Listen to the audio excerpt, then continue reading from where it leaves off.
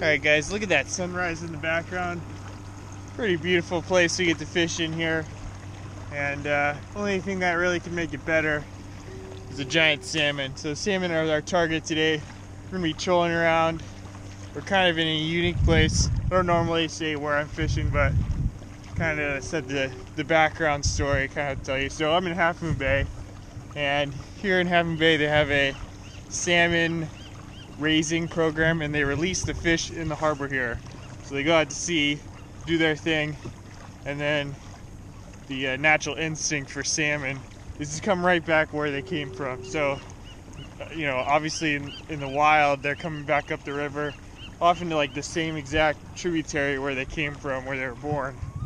But when they're released here, their uh, instincts come back here, and there's no river here, it's just a harbor. So they kind of get stuck here Sometimes you'll catch them in the harbor, but nice enough for us kayak anglers is it's kind of the one place where salmon come in close enough and congregate in big enough numbers for us to target them. So that's what we're gonna be doing today. And uh, I don't, the bite hasn't been red hot from what I've heard, but there are some fish around, so we're hoping, hoping we can get on a salmon today. There's so many pelicans here. Look at that sunrise though. That's pretty sweet. Also, forgot to mention one thing. Against all odds, that guy is working, and I remembered all the, the moving parts, so we have fish finder today. Hopefully, it can help us locate some fish. Got all that bait. There's a ton of bait in here. I mean, it's like literally all the way from 10 feet down all the way to the bottom. Stacked. That's what these fish are feeding on. So we're gonna be using cripple anchovy today, which is basically a frozen anchovy inside a little piece of plastic. And it gets it gives it a good spin, enough spin to where these fish think it's a real live anchovy and they come and eat it.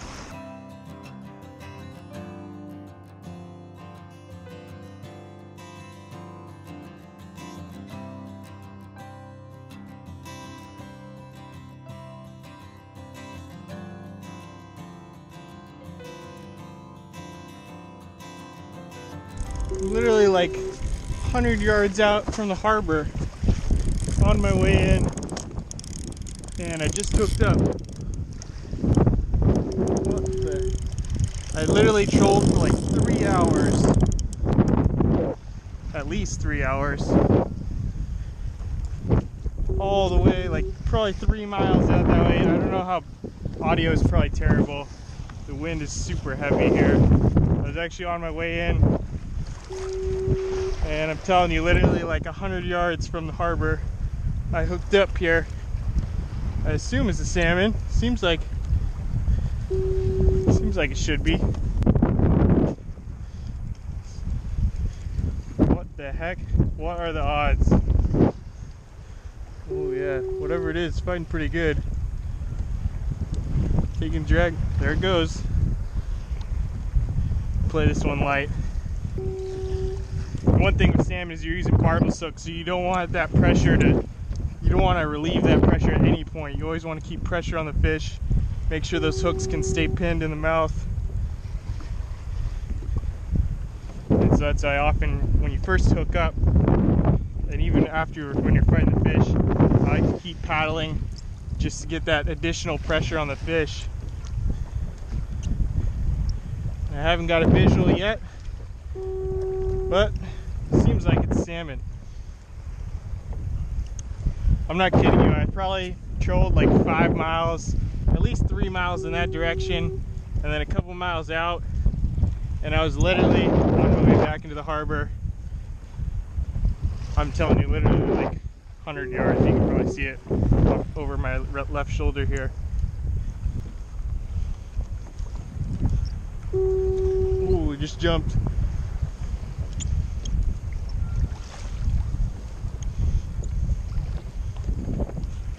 Definitely a salmon, 100% salmon. Keep them coming in close here. The other thing too these salmon rods, you want to give a lot of nice bend in that rod. Okay, got you up here. Ooh, he's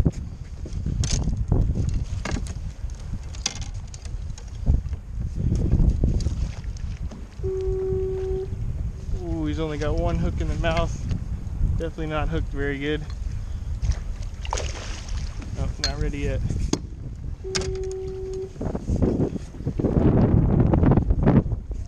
Around to this side. Okay.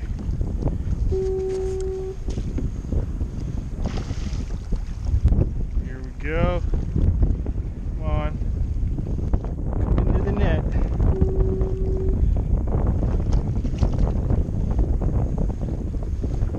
Catch him something here. Oh, not yet.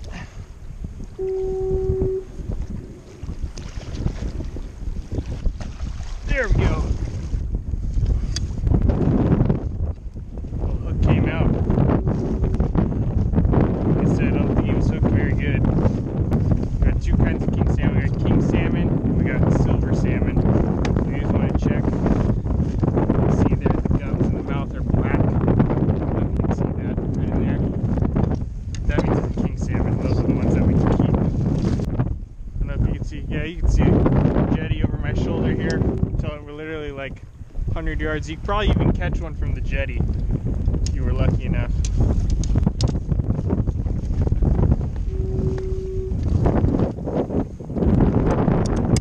Alright, there. Solid, solid California king salmon from the kayak. Until uh, we're literally like 100 yards out. Well, I guess we're gonna have to give it a shot now. See if we can get a second one. It's getting a little bit sporty out here in terms of weather. Give it another half an hour to an hour. You always want to check your leader after catching a fish. Make sure it's not chafed up, especially when fish like salmon they got teeth.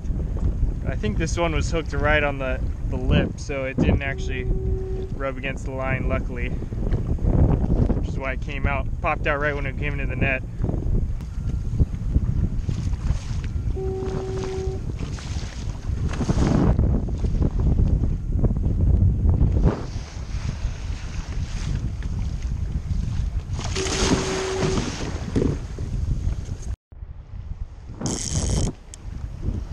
Very good.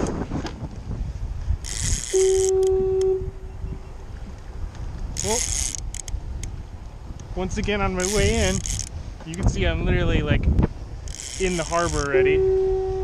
Got hit. And honestly, I thought it was a snag when I first got it. Didn't even have the cameras on. But it's definitely not. Let's see what we got here.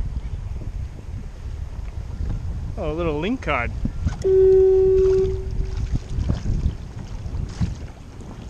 Look at that. Must have been hiding in these jetty rocks.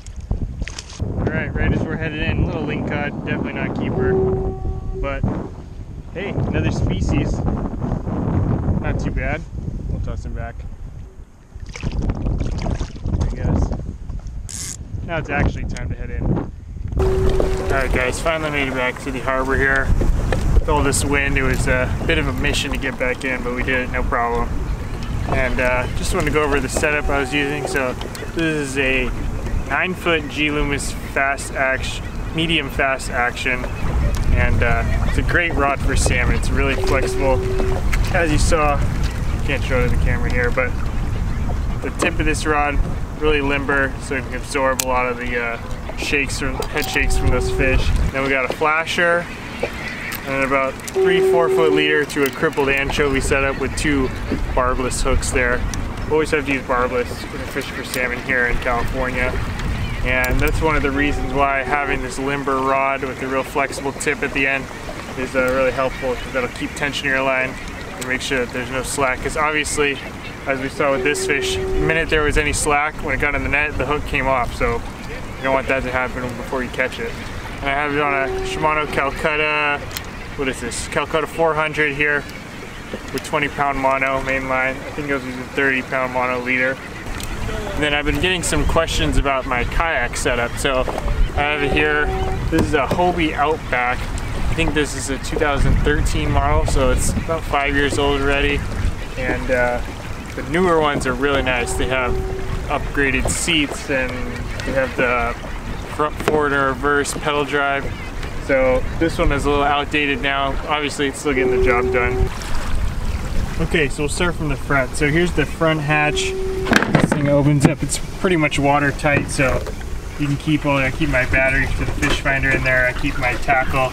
You can get to it pretty much no problem when you're out there because this kayak is pretty stable. So here's the front hatch. As we move down around, let's see here.